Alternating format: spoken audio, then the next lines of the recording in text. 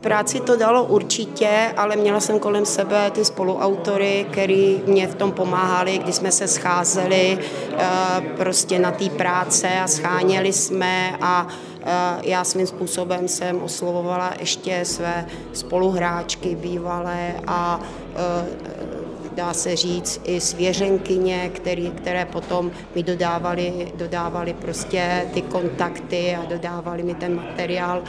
Takže eh, byla to práce milá, bych řekla. Já myslím, že takových počinů není nikdy dost. Eh, mě nesmírně těší, že jsme mohli přivítat Evu Haňakovou eh, tady u nás v síně Slávy fotbalové asociace a pokřtít její novou knihu Císařovna, protože to je knížka, která pojednává o ženském fotbale.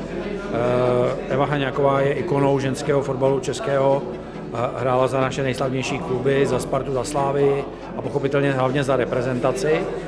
A do dneška trénuje, to znamená, ta její kariéra je inspirativní pro e, dívky. Jsem rád, že se mnou tu knížku pokřtila Pavlína Šťastná, což je vlastně pokračovatelka, je to následující generace, no a že si z toho vezme i něco ta generace současná, protože ženský fotbal zaznamenává e, i tady u nás ve fotbalové asociaci velký boom. A e, myslím si, že ta knížka má nezastupitelné místo a těším se na to, že si ji sám přečtu. Bylo to pro mě čest, že si mohla pokřtít uh, takovou věc, protože to je neobvyklý v ženském fotbale, nebo celkově moc ty knihy o ženském fotbale se nedělají, natož u nás.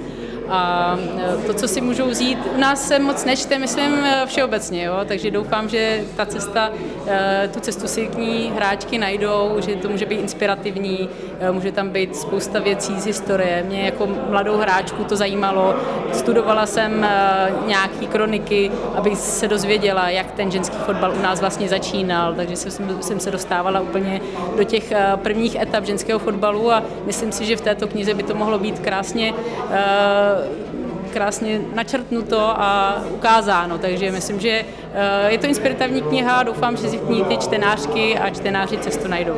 Byla to vlastně jedna z prvních trenérek, která mě zasvěcovala do toho ženského fotbalu a, a měl jsem vlastně tu čest s ní i spolupracovat nějakou dobu, kdy jsme vlastně začali dělat na výběrech, výběrech 15 a, nebo vlastně do 15 let holek, potom jsme spolu dělali vlastně 17 reprezentaci, s kterou jsme vlastně dosáhli historický úspěch, eh, což byl postup na mistrovství Evropy 17. Takže tyhle já mám vzpomínky na Evu samozřejmě jenom, jenom ty, jenom ty krásné a, a ona vlastně byla ta první dáma, která mě zasvětila, zasvětila do toho ženského fotbalu a zasvěcovala a první zkušenosti vlastně byly skrz ní. Já si myslím, že už jsem to poznala na prvním křestu, který proběh ve Kbelí, kde teda byla, bylo hodně uh, lidí, který jsem vlastně prošli mýma rukama, ať to byly hráčky s rodičema a tak dále.